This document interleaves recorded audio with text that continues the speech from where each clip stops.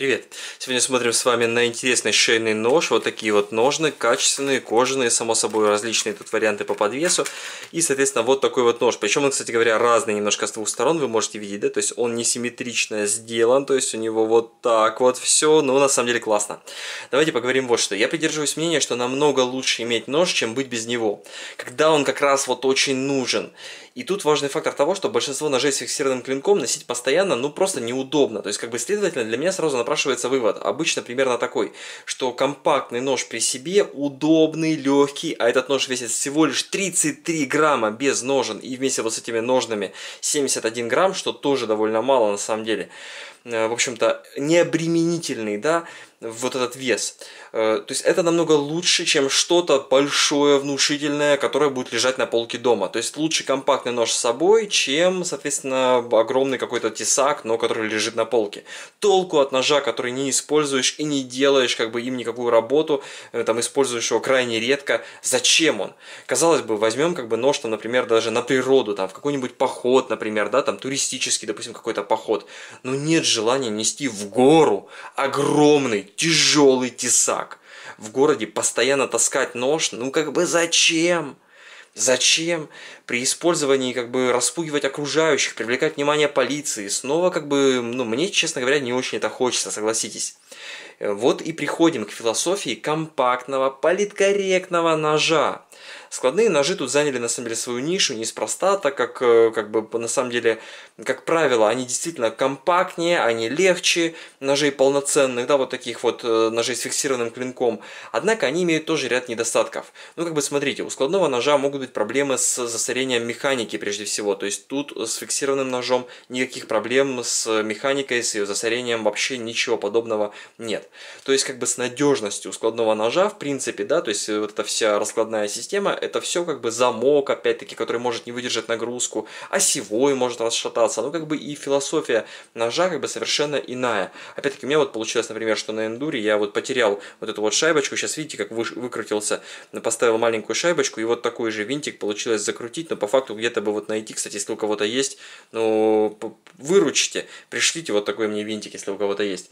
Ну, как бы сам факт, да, то есть вот он получается складной нож и нож с фиксированным клинком. Но здесь у нас компактная модель. Понятно, что если мы возьмем большой какой-то нож с фиксированным клинком, там будет огромная разница. Э, к чему? К чему это все?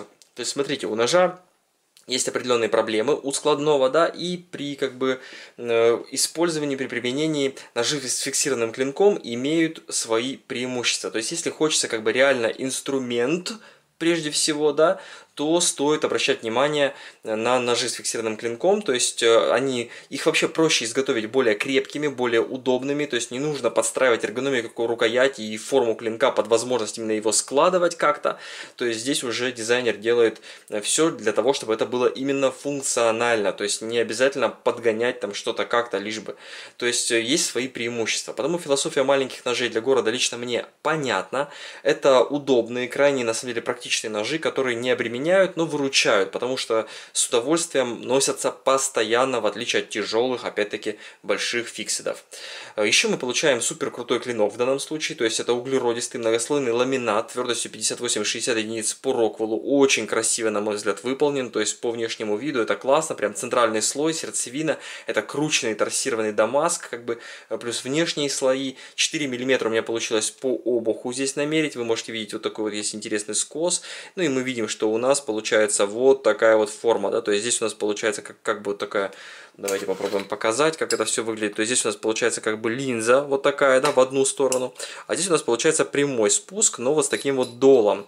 Дол это на самом деле больше дизайнерская часть, больше для облегчения веса, для каких-то вот таких моментов, да, делается, плюс как бы дополнительное ребро жесткости происходит при, эм, при уменьшении веса, как бы не теряется э, прочность. Ну, то есть такой вот интересный момент. Ну и, конечно же, это дизайнер прежде всего, дизайн. Значит, на мой взгляд, достойных производителей э, наших ножей, э, в общем-то, стоит поддерживать. В данном случае мастера зовут Алексей Федотов, он из города Павлова.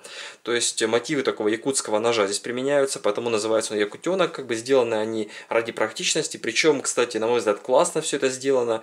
То есть нож э, компактный, выглядит как полноразмерный. Если бы я вот сейчас как-то не показывал вам да, его величину там в своей руке по сравнению с какими-то другими другими ножами, то он вот так вот на фотографии, например, где-нибудь смотришь, кажется, что абсолютно такой полноразмерный нож и ну, без каких-то скидок на размеры, да, выглядит так серьезно. На мой взгляд, это плюс.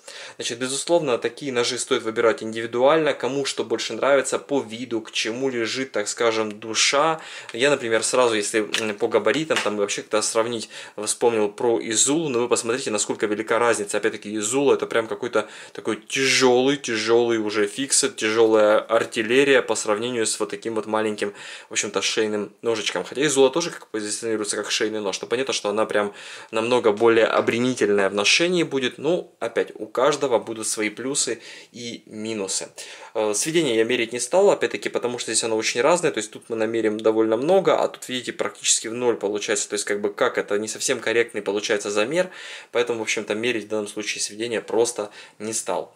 Нож достойный, это главное. Большое спасибо компании Резать.ру за то, что предоставили этот нож на обзор. Интересная модель, интересная, то есть прежде всего, наверное, своим каким-то вот таким дизайном, внешним видом, ну а по практичности это нож, и можно много чего делать. Всем спасибо, всем удачи, всем пока.